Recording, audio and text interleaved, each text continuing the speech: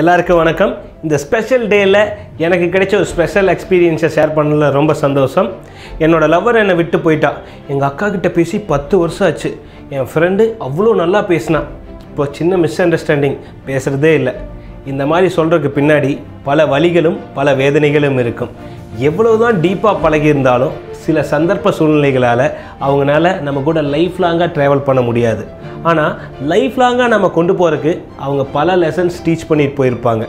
அந்த லெசன்ஸ் தான் நமக்கு அடுத்து கிடைக்க போகிற ரிலேஷன்ஷிப்பில் எது பண்ணணும் எது பண்ணக்கூடாதுன்னு நமக்கு சொல்லி புரிய வைக்கக்கூடிய gift so make use of that gift உறவுகள் பிரிவதால் பல பாடங்கள் கிடைக்கும். உணர்வுகள் புரிவதால் பல பாதைகள் பிறக்கும். All the best